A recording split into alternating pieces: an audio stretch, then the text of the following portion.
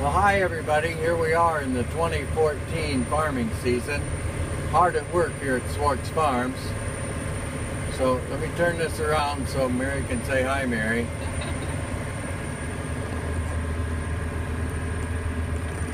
Hi, Mary. Hi, Mary. Get this turned around here. There we go. This is the panoramic view you've all become so accustomed to. All right. Say bye, Mary.